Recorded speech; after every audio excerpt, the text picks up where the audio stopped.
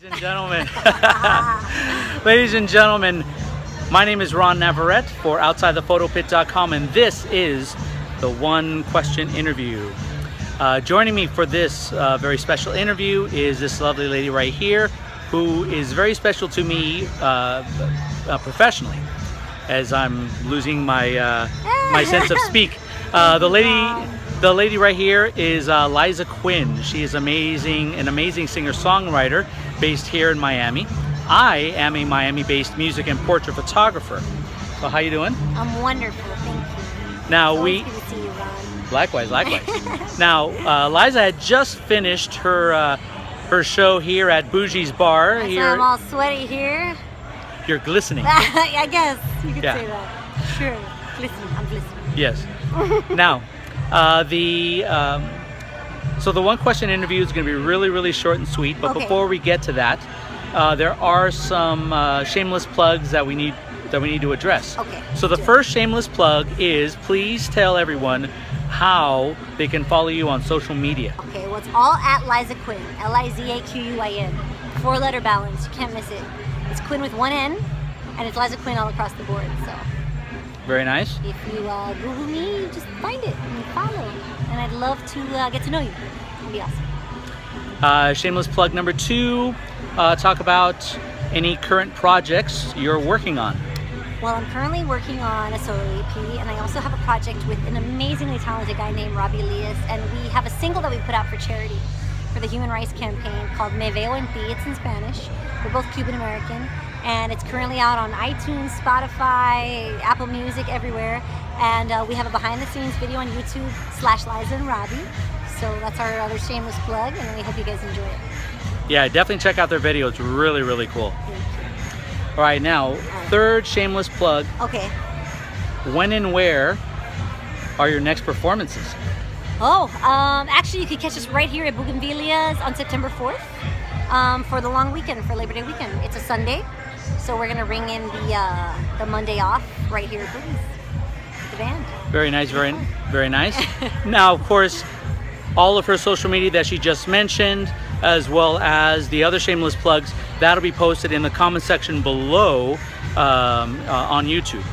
Now, are you ready for that one question? I'm so ready. Let's do this. All right. Okay. So,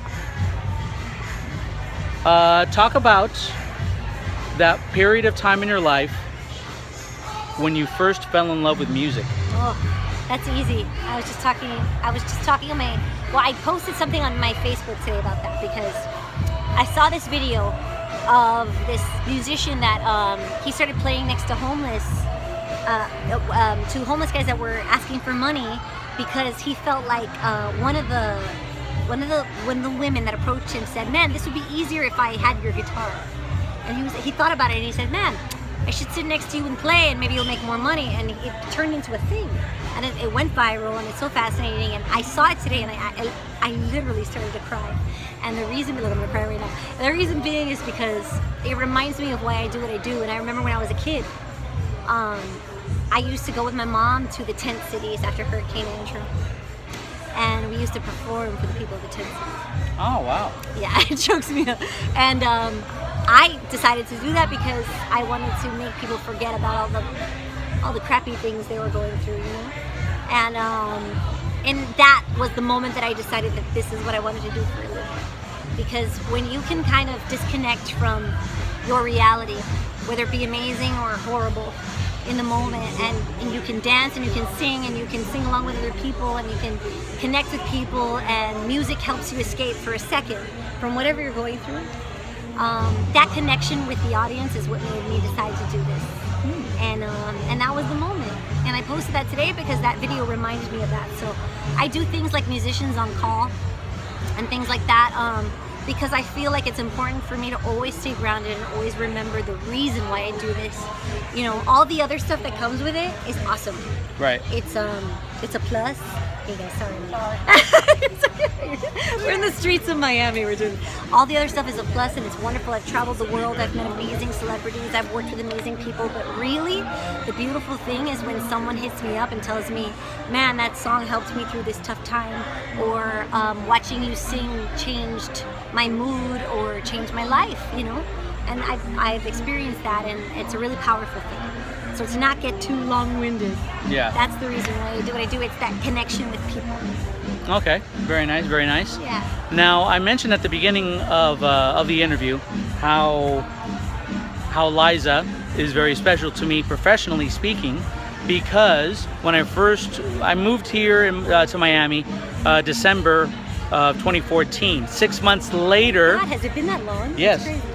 Six months later, I saw her photo on uh, on Instagram, um, and she had a gig here at uh, at Bougainvilleas, and then I contacted her saying I would love to photograph your performance, and she said yes, and so that's how everything got started, and so from her, um, I was able to meet. Uh, lots of other musicians, other groups around the Miami music circuit, and it's taken off to where I have my one question interview. I'm so happy to see it. So, Ron was fresh from LA, and um, I was excited to kind of pull him into our music scene over here. yep. And I loved that you loved music.